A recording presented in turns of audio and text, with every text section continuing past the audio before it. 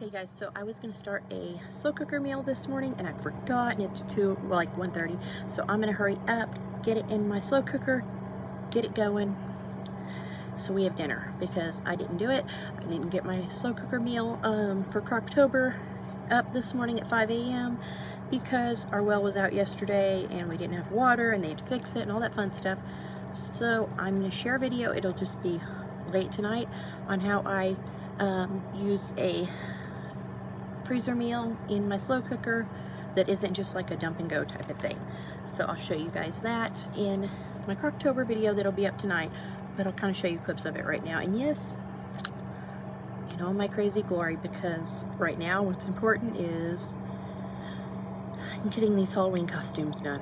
Okay guys, so if you missed my uh, Feeding My Freezer Challenge cooking day, I will pop a card so that you can see how I made this bacon cheeseburger meatloaf that has been in my freezer since August. Um, we were needing to cook it up because it was just kind of starting to get ice on it. I didn't wrap it too fantastically and had intended on eating it sooner, but it's just been hot and we've been pretty much smoking everything.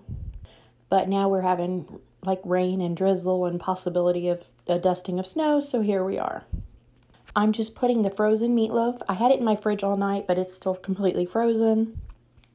In the bottom of my slow cooker, in the pan, and I'm putting about a cup of water into the crock pot around the pan, putting the lid on it, and I'm just going to turn it on high and let it cook for four hours.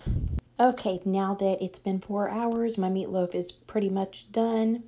I'm mixing about three tablespoons of barbecue sauce, three tablespoons of ketchup, a teaspoon of onion powder, and some salt and pepper in a cup. And I'm just going to dump it all over the top, smooth it out with the spoon. And then we have to run to the store, so we'll be back in about 30 minutes and finish up dinner. And this will just get a chance for this to kind of cook and thicken and stick to the meat. Here it is all done. We are home and um, I'm going to take this out here in just a minute and cut it up. And we are having some mashed potatoes also from my freezer cooking day. Um, I just added a little bit of milk and some butter. And I'm going to let those warm up. I've got some string beans. And then I also made some um, rolls with Little Mr. James and some gravy. Uh, today is Tuesday. Woo! Can you close it? Make dinner. That's the end of it right there. Thank you. Should I turn it on? It's already on.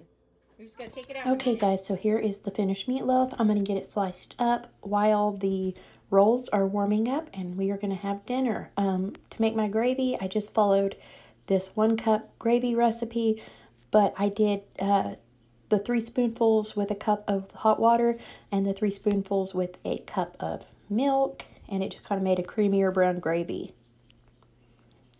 So, yeah, this is dinner tonight. And I was able to do everything else I needed to do because my slow cooker handled that for me. And I planned with my freezer cooking uh, stuff to make sure that we had a quick and easy dinner and I didn't have to last minute figure it out since I'm in the middle of sewing everybody's Halloween costumes and all that jazz. Thank you guys for watching this video. If you enjoyed it, give it a thumbs up, leave a comment below. I'd love to hear from you, and subscribe if you haven't already. I'll talk to you guys later.